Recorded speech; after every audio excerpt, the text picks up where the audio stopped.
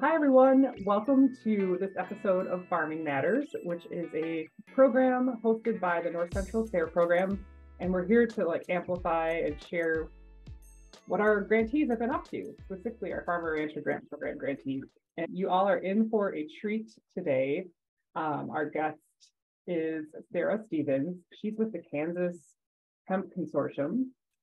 And I'll let Sarah take it from here soon. I also want to acknowledge and celebrate Marie Flanagan. Hey, Marie. Hello. She, she is our uh, communication specialist at the SARE program and really just helps choreograph and make make all of the little logistics go happen behind the scenes.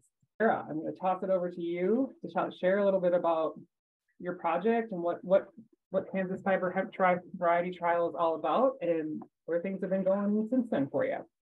Um, I really appreciate the chance to be on the Farming Matters show and talk with you about what we learned and what we tried in the industrial hemp acreage expansion project for, fiber and grain in Kansas in 2022.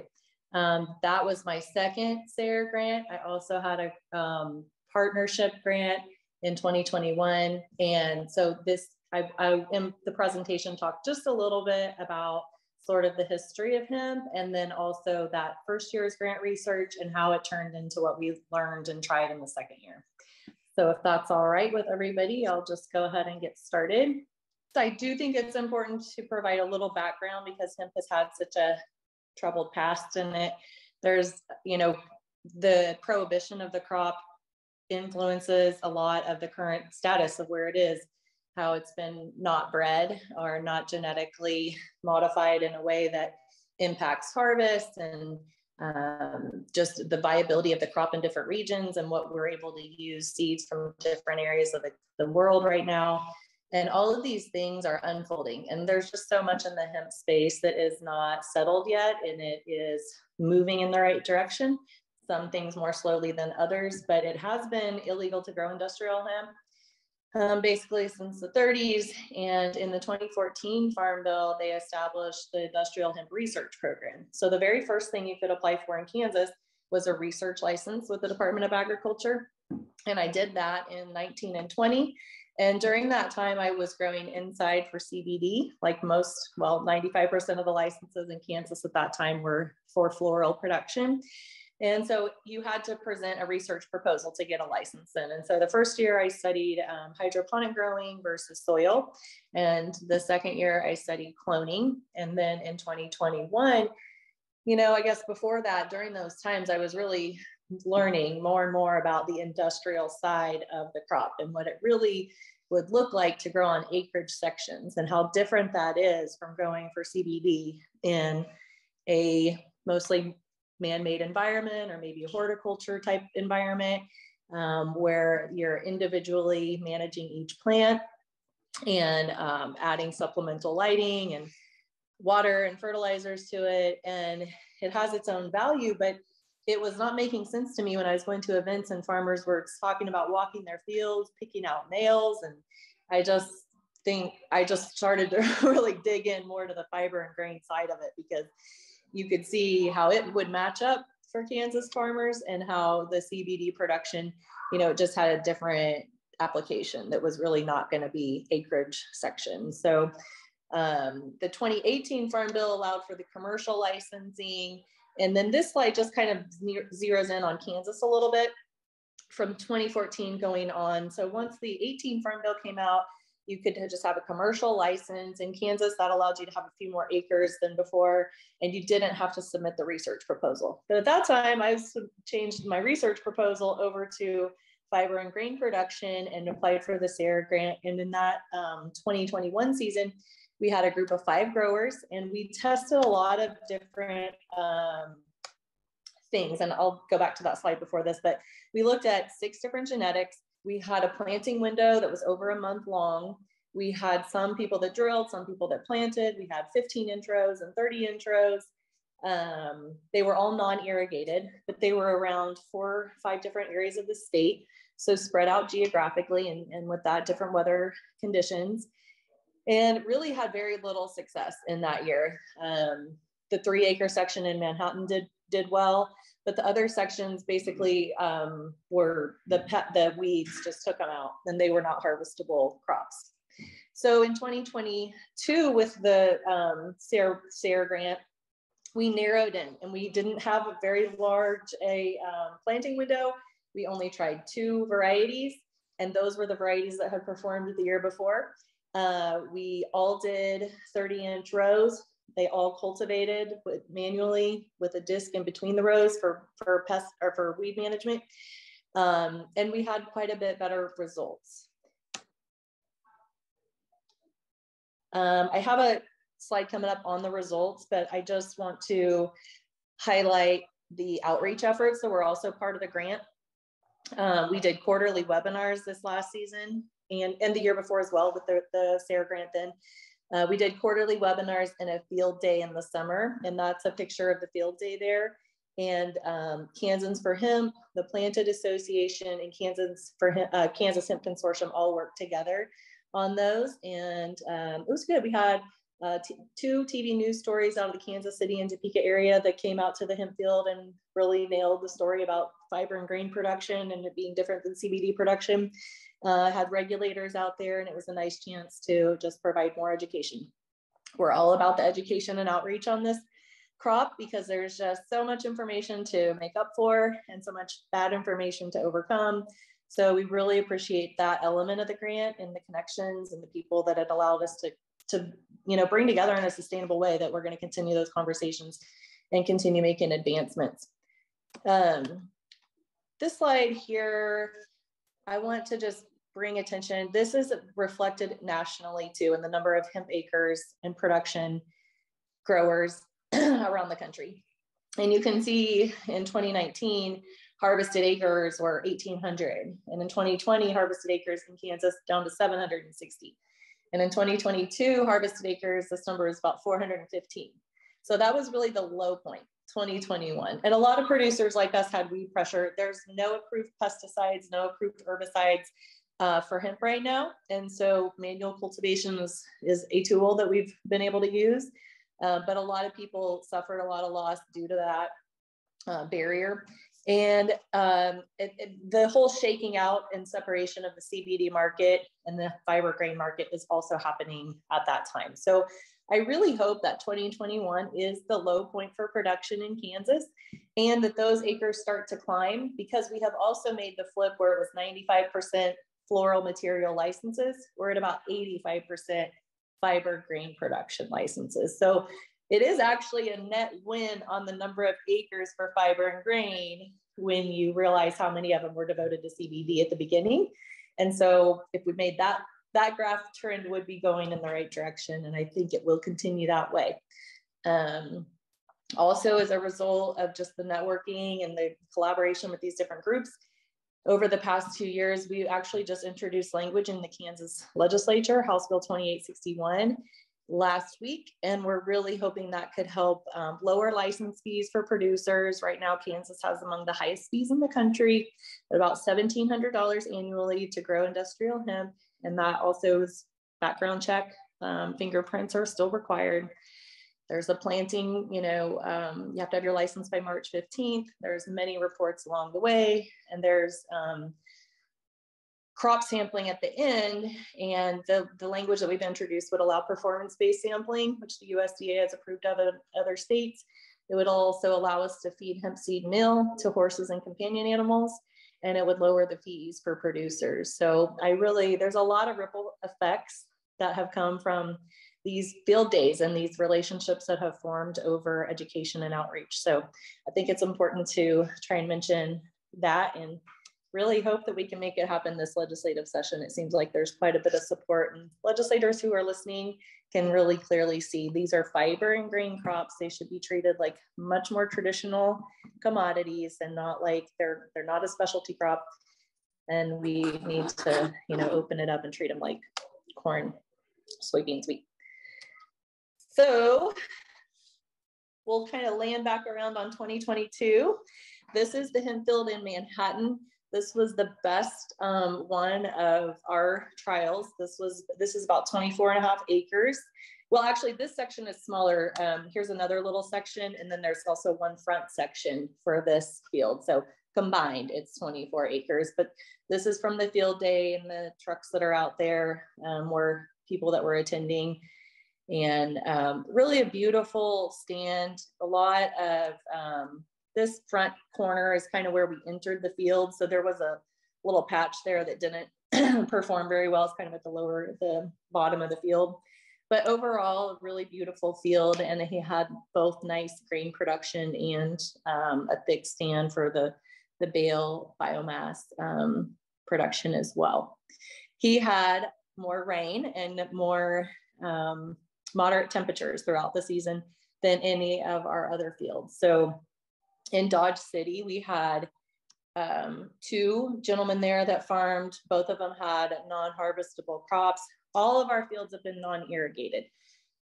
I know we could perform probably better on irrigated ground, uh, but it just has, we've really tried to see what genetics would work on non-irrigated ground. And so that has been our focus. We also have focused on genetics that are um, are grain dominant. You know, if you want to grow for fiber, you plant at a higher density. People are generally planting the Chinese varieties where they are making textiles out of hemp in the in that country. So there the plant looks more like bamboo. You plant it really close together, it shoots more straight up.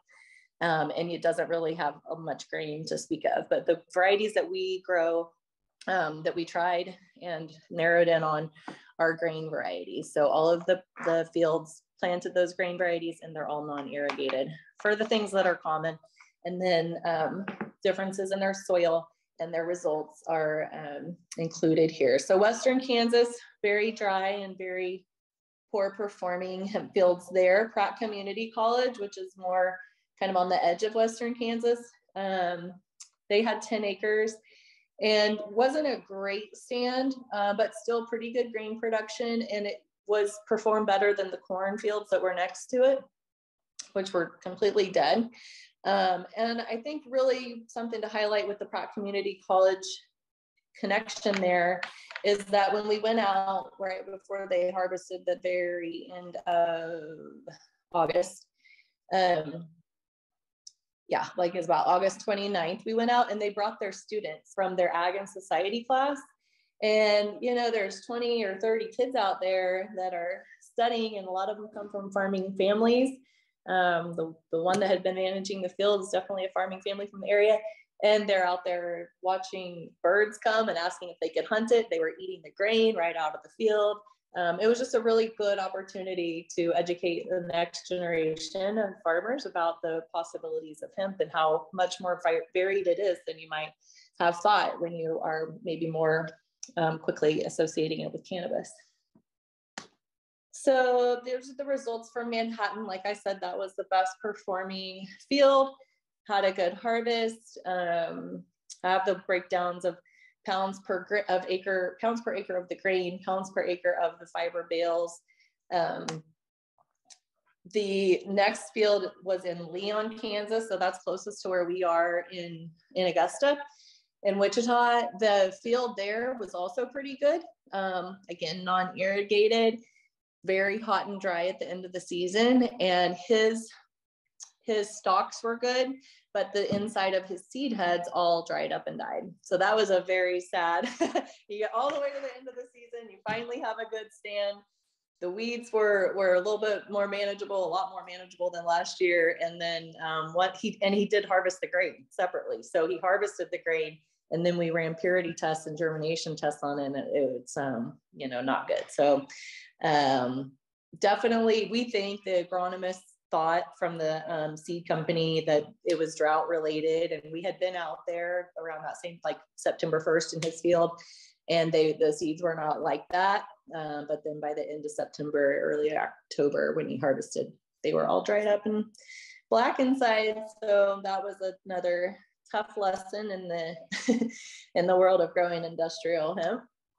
Um, generally just for people that are, uh, and we'll, any questions on the research we can come back around to, but I just do like to encourage people that are considering industrial hemp, if they want to grow it, to reach out. If they um, are interested in processing or processed material, which would be hurd, fiber, grain, um, micronized fiber, dust. There's so many opportunities and so many needed pieces of the supply chain right now for a whole infrastructure to develop that it's an exciting time and it's um, there's risk and there's pitfalls but there's also a lot of opportunity and a lot of cool people that are involved that you can network with and meet and kind of find your lane you know whatever your maybe current business is or your current farming model is there's a way to weave hemp into that that um, you know is beneficial so happy to help people think about that even you know if you're in insurance or accounting there's just a lot of ancillary support for the industry that requires people to understand the crop and see it as different than, than cannabis and see it as truly a, a potential provider of protein uh, for humans and animals and also biodegradable fiber. These are some hemp products that you can buy today. The hemp wood flooring is available. There's a lot of hemp heart food, um, hemp seed oil food on the market, but almost all of it's coming from Canada right now. And they have not had the same length of prohibition. So I think for the past maybe 20 years, you have been able to grow industrial hemp in Canada. And so they've developed, developed their grain market very thoroughly and all hemp food pretty much on the shelf that you would find at your grocery store is coming from there. So that's an area of opportunity that we, it, hemp seeds are about 30% protein. They're high in fiber. They're high in omegas threes and sixes. And like I said, you can buy them on the shelf, but right now there's an AAFCO prohibition against feeding them to animals. So there's a long process underway right now that will open up hemp in seed meal for laying hens. And then the next application would be for broilers and then cattle, dairy cattle. But each one of those um, AAFCO ingredients is approved for a specific animal. And so it takes a long time, a lot of money for research and application to move those, um, to move hemp seed meal into the approved ingredient list for each one of those animals. So it's another area of opportunity that's unsettled and kind of, you know, it's headed in the right direction, but you can't really build or scale around it at this particular moment because you don't you don't really know the timeline when it's going to be approved and maybe like the specifics of um, what it, what it will look like. But I think um, I think feed operations are maybe starting to see the value of being able to grow hemp in Kansas and feed it to cattle in Kansas or feed it to chickens in Missouri um, as, as a sustainable crop and an important food for animals in addition to people. That kind of concludes the slides and the presentation.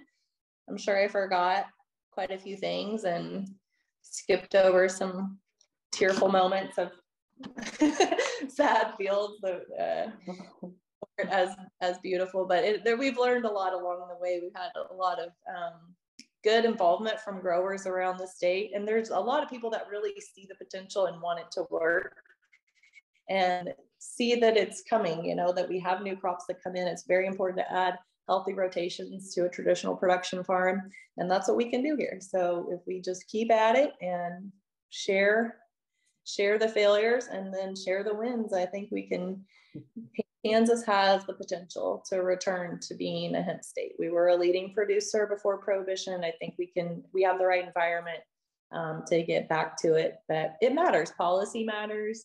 Um, it definitely matters in this space as far as are you encouraging production? Are you discouraging production?